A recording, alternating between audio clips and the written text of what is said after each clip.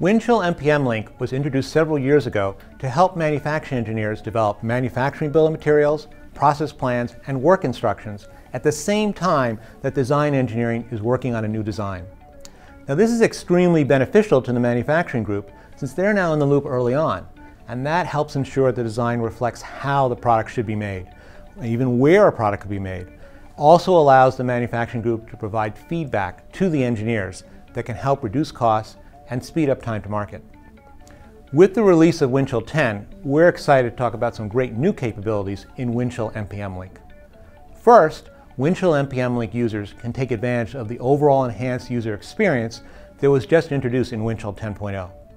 Now this will make it easier for the experienced Windchill MPMLink user to quickly find information and do their work more efficiently. It also makes it easier for the casual user. And by the casual user, I mean somebody like the production manager or maybe someone on the shop floor that only uses uh, Windchill occasionally. It'll be a lot easier for them to learn and use Windchill MPMLink. Windchill 10.0 includes new capabilities to manage optional product information. Now these capabilities have been available to engineering with Windchill PDM Link. They are now available to manufacturing with Windchill MPMLink. Now this will help in many situations.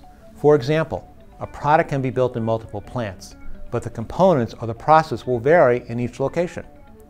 Also, the options defined by engineering can now be transferred automatically from the EBOM to the MBOM process plan and work instructions.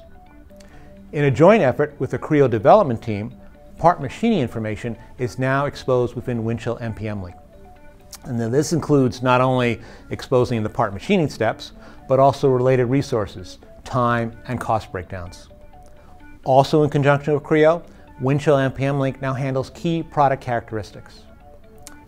Windchill MPMLink offers more BOM capabilities, such as supporting multi-level BOM allocations, streamlining the BOM transformation process with the introduction of a new dual structure editor, and better propagation of EBOM changes into the MBOM. These are just some of the great new capabilities in Windchill MPMLink that can help manufacturing engineers digitally develop and manage all their process plan deliverables concurrently with design. And that will help increase quality, reduce rework issues, and improve overall efficiency. I invite you to learn more about Windchill MPMLink by visiting the product pages on ptc.com.